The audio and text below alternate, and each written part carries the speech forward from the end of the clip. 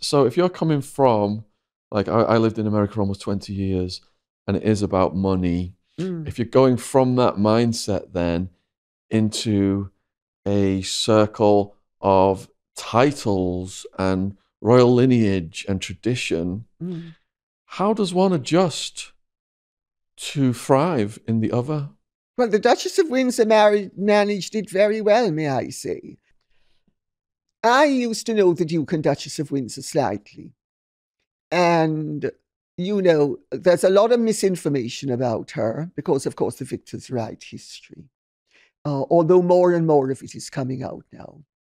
But the Duchess of Windsor is a woman who gave up the right to a two and a half million dollar fortune in the early 1930s to marry for love.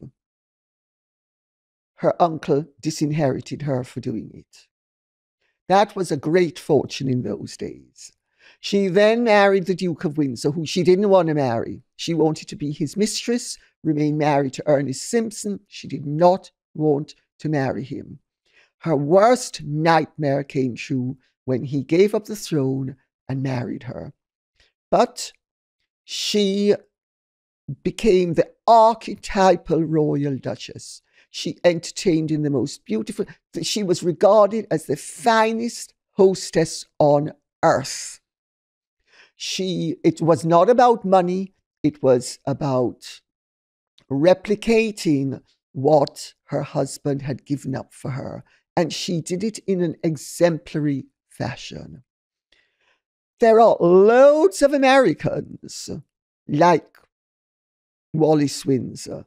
Princess Grace, Princess Grace, it was not about money, it was not about merching herself.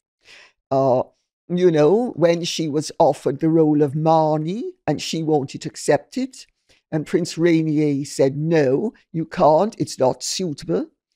Even though it, this wasn't about money, this was going to be about fame and doing something she really loved, she understood she couldn't do it. Later in her life, she came up with a more acceptable version, which was poetry readings, which she do for charity.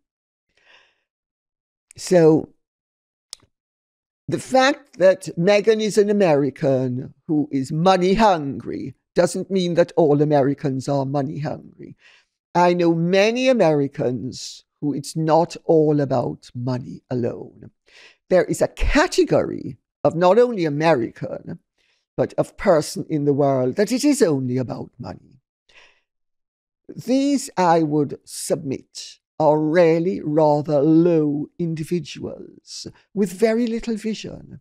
Because if life is all about money, and, and also if life is only about achieving what you want, you miss many of the lessons in life, which are sometimes you need to make the best of what you have been given, and then it turns into something completely different that you then enjoy and like.